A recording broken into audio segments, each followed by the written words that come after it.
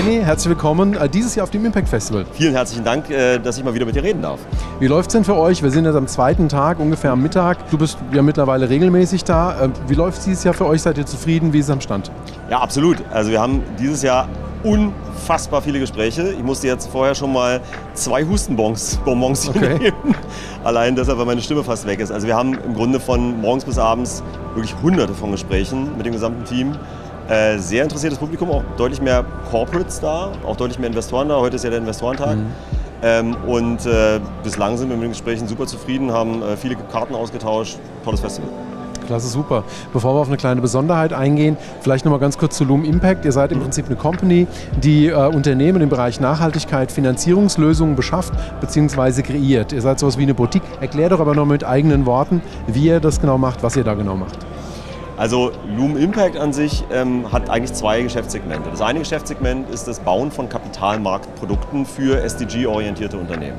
Das heißt also ähm, Projekte, entweder zum Beispiel Fondsinitiatoren, die, die Impact-Fonds auflegen wollen, oder auch Unternehmen, die zum Beispiel Kapitalbedarfe haben, statten wir mit Kapitalmarktprodukten aus. Das können zum Beispiel Fonds sein, das können äh, Anleihen sein, das ist aber insbesondere auch Verbriefungen, also Securitizations, ähm, die dafür sorgen, dass wir Grunde eine Verbindung über Kapitalmarktprodukte von den Unternehmen oder von Initiatoren haben zu den Investierenden, die nach Impact Investing Produkten suchen.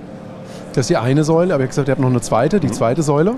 Die zweite Säule ist eine Digitalsäule und ja. zwar alle unsere Produkte, die wir bauen, sind Impact-linked. Also das heißt, sie werden, die, die, finanzielle Performance wird ausgesteuert über den Impact, der erzeugt wurde mhm. von den entsprechenden Unternehmen. Dazu muss man sie erfassen. Deshalb haben wir eine Plattform namens Loompact, ist eine Submarke von uns gebaut, wo es ganz einfach ist, diesen Impact zu planen und dagegen zu berichten. Das ist das eine. Und das andere ist, dass wir jetzt, daran haben wir jetzt quasi anderthalb Jahre gearbeitet, ähm, diesen Impact auch monetarisieren können. Dazu nutzen wir Token und NFTs. NFTs ist ein gutes Stichwort. Ich bin vorhin bei euch am Stand vorbeigekommen und habe mit großem Interesse gesehen, dass dort, äh, ich glaube, zwei direkte Platzierungen von NFTs von euch angeboten wurden. Eine dritte, glaube ich, war noch in Vorbereitung oder zumindest der QR-Code war noch äh, defunktional geschaltet. Ja. Erzähl uns trotzdem, was sind diese zwei Projekte und was macht ihr da genau mit NFTs? Genau. Also momentan ist es ja so, Impact hat eigentlich keinen Gegenwert. Also vielleicht in einer Dimension, CO2, ja, kennen wir wegen den Zertifikatshandel. Aber alle anderen, ich meine, CO2 ist innerhalb von 17 SDGs im SDG 13 verortet. Und das ist ein einziger Parameter, ein einziges KPI. Es gibt hunderte von unterschiedlichen Parametern, die alle keinen finanziellen Gegenwert haben. Mhm. Und es gibt aber ganz viele Unternehmungen, seien sie jetzt For- oder Non-Profit, die Wirkung erzeugen, im ökologischen oder sozialen Rahmen. Und wir geben jeder Form von Impact finanziellen Gegenwert. Wie machen wir das? Wie gerade eben gesagt, diese Plattform Loompact ermöglicht es ja Unternehmen, ihren Impact einfach zu erfassen. Das sind Daten, die, kommen direkt von den Unternehmen, also diese Daten. Das heißt, es sind hochqualitative Daten, die jetzt nicht orakelt werden, sondern die kommen direkt als Aussage von den Unternehmen. Die Unternehmen sind auch haftbar für diese Daten. Das würde jetzt als Aussage nicht reichen. Wir und auch Partnernetzwerke, zum Beispiel auch Leonardo, das ist eine, auch eine Firma hier, die in Frankfurt ansässig ist, ähm, auditieren diese Daten, also sind diese KPIs, die da verbrieft werden sollen oder verifiziert werden sollen, ist das valide, also das, sind ausreichend statistische und operative Informationen eingeflossen, um zu dieser Aussage zu kommen. Und wenn das der Fall ist, dann sprechen wir bei geleistetem Impact, also Impact, der in der Vergangenheit liegt, von Impact Assets. Warum ist es wichtig, von Impact in der Vergangenheit zu sprechen? Impact kann ja nur realisiert sein und ist nicht mehr wegnehmbar, wenn er mal in der Vergangenheit geleistet wurde. Mhm. Das heißt also, wir verbriefen nichts in die Zukunft hinein, sondern in die Vergangenheit. Dann ist Impact plötzlich ein Produkt. Das heißt, ich kann hergehen, wir haben unser erstes NFT, was wir jetzt rausgebracht haben, also das erste Impact NFT-Zertifikat, wenn man so will, überhaupt weltweit, haben wir für Africa Green Tech rausgebracht. Africa Green Tech ist ja ein Anbieter der Solarcontainer baut und betreibt für Subsahara-Afrika, also dort die rurale Elektrifizierung vorantreibt. Ja, die verkaufen Strom, aber eigentlich, was sie machen, ist was ganz anderes. Strom ist vielleicht die Spitze des Eisbergs, aber der dicke Bauch ist, ja, plötzlich entstehen da Businesses. Weil Businesses entstehen, ist da mehr Einkommen. Weil mehr Einkommen entsteht, können plötzlich Kinder zur Schule geschickt werden, kann man sich einen Kühlschrank kaufen, weniger Food Waste entsteht, ähm, die Leute haben weniger Erkrankungen deshalb, weil sie sich äh, nicht eine Lebensmittelvergiftung zuziehen mhm. und so weiter. Also das heißt, die Lebensqualität wird besser. Im Grunde ist das der dicke Bauch unter dem Eisberg. der war bislang nicht monetarisierbar. Und den haben wir in ein NFT gepackt.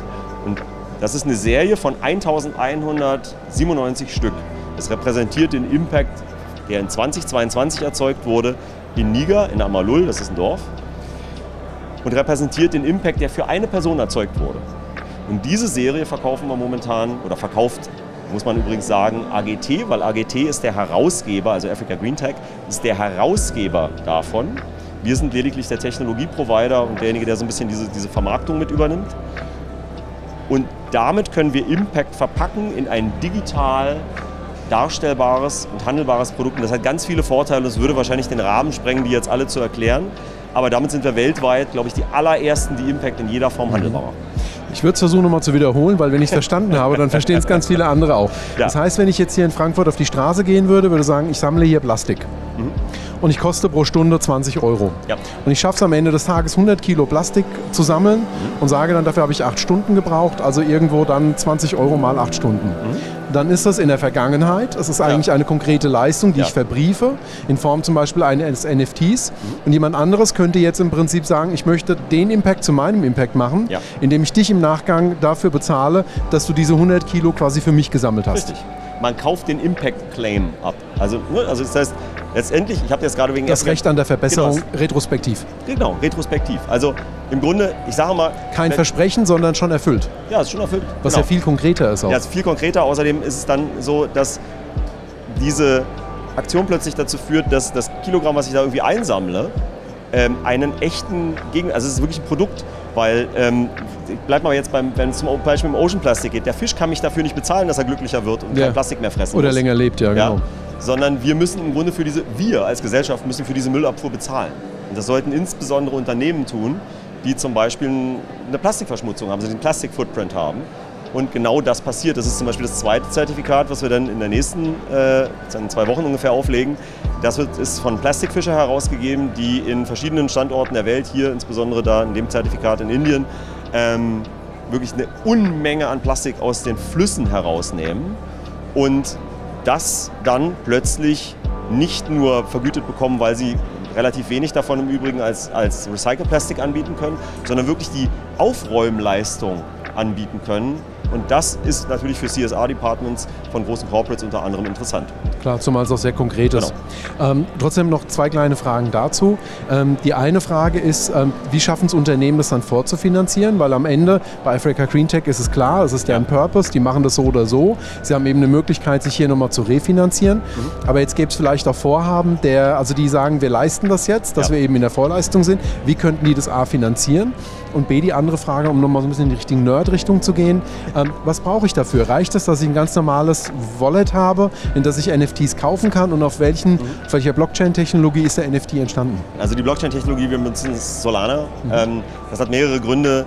Ähm, wir haben uns versucht, eine Blockchain auszusuchen, die einen relativ geringen Energy Footprint hat, mhm. weil Blockchain ist immer so, uh, furchtbar, da denkt man immer so an Bitcoin und an die riesigen Ethereum und so weiter. Und so weiter ja. Ja. Naja, Ethereum hat ja auch umgestellt, wobei die natürlich einen historischen Footprint wiederum haben, genau. weil das war auch Proof of Work, also da, wo man ganz viel rechnen muss, um so einen Token zu erstellen. Deshalb haben wir uns eine rausgesucht, die von Anfang an Proof of Stake, Proof of History ist. Das ist das Verfahren, was überhaupt, also ein, ach, ein Millionstel von dem an Energie verbraucht, was so eine Proof of Work Chain braucht. Das ist das eine. Außerdem kompensieren die auch noch den errechneten Footprint komplett. Ja. Aber das mal von, von Solana jetzt mal abgesehen, äh, wenn ich so ein NFT kaufen möchte, dann brauche ich nichts weiter außer eine Kreditkarte und eine E-Mail-Adresse. Also das ist genauso einfach, als wenn ich bei einem großen Online-Shopping-Anbieter äh, mir was in den Warenkorb tue und mit der Kreditkarte bezahle. Das ist genauso einfach. Also ich habe gestern am Stand zwei Leute gehabt, die gesagt haben, ich habe mein erstes Krypto-Asset gekauft Wer hätte es nicht gedacht, dass das so einfach ist und so, äh, Verzeihung, unspektakulär. Also man braucht kein Wallet. Oder, man, es ist idealerweise, sage ich immer, das wird nach dem Kauf in ein sogenanntes Custodial Wallet gelegt, das ähm, im Internet sitzt, also bei dem Payment Provider, den wir da haben.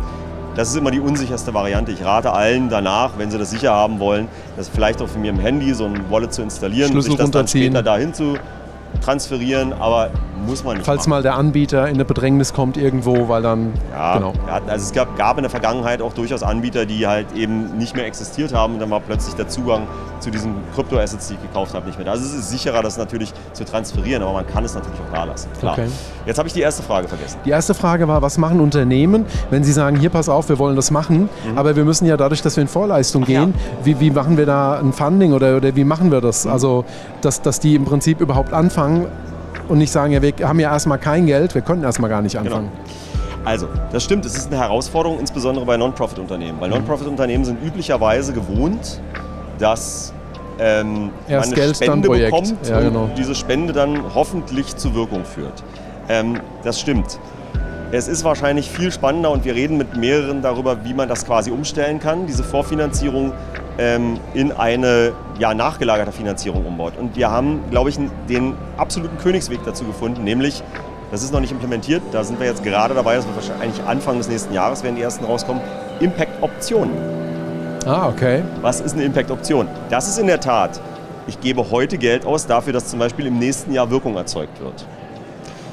Wenn diese Wirkung erzeugt wird am Ende des Jahres, kann ich meine Option, die ich vielleicht zu einem Vorteilspreis gekauft habe, in den generierten Impact austauschen. Das heißt, ich nehme meine Option und bekomme dafür das echte Token, also nicht die Option, wo echt drauf steht, Achtung, Option, ist noch kein realisierter Impact, sondern kann das dann umtauschen in realisierten Impact. Also in das, was da zum Beispiel bei uns auch am Stand als NFT hängt.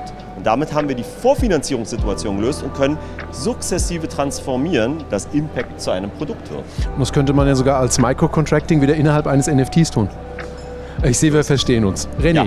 ich danke dir für diese vielen Informationen. Wir haben jetzt eine Verabredung. Ich gehe jetzt mit dir NFTs kaufen. Wunderbar, dann komm mal mit. Ich danke dir auf jeden Fall. Gerne.